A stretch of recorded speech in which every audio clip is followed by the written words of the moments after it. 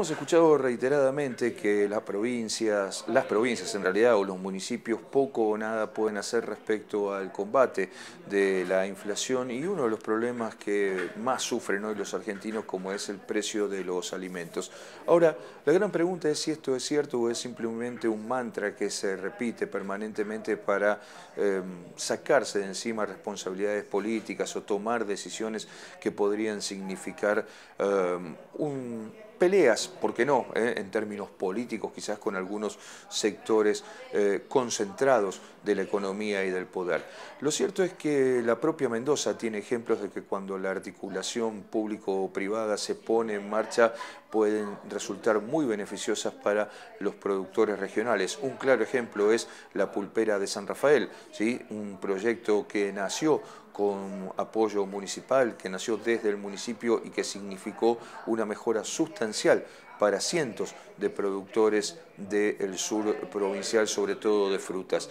Bueno, ahora estamos viviendo etapas similares en distintos puntos del país. Hay muy buenos proyectos en materia láctea, por ejemplo en Marcos Paz, también algunos en Córdoba.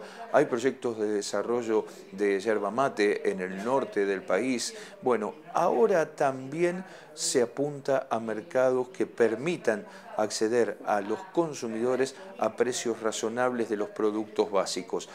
Durante la pandemia, la provincia de Buenos Aires puso en marcha el programa Mercados Bonaerenses, que hoy ya llega a 80 municipios y nuclea a 1.280 productores pequeños y medianos de la provincia de Buenos Aires. El funcionamiento son mercados itinerantes que cada municipio pone a disposición un lugar para que una vez por semana estos productores tomen contacto directo con los consumidores con precios que llegan hasta un 25 o 30% por debajo de los valores de los grandes centros comerciales. A partir de la semana pasada este programa ha sufrido un cambio importante o comienza a sufrir una mutación importante y que es la colocación de mercados fijos. El primero ha sido en la localidad de Lomas de San Mora, mediante un acuerdo entre estos mismos productores y el Estado provincial y el municipio de Lomas de Zamora. El próximo, antes de la primavera, será en el eh, municipio de Merlo y así sucesivamente se piensa llegar a los, 80, a los 80 municipios. Lo más sintomático es que mediante este trabajo los precios se han bajado de forma realmente considerable. Ustedes pueden verlo en la columna en sitioandino.com.ar.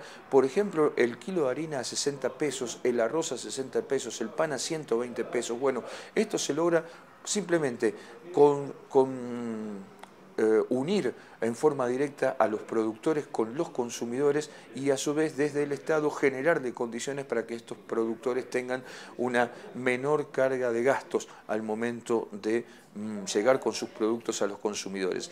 Esto lo que termina reflejando es que la cadena de comercialización en la Argentina es larguísima, que hace que muchas veces los precios se disparen por las nubes más allá de los factores de concentración.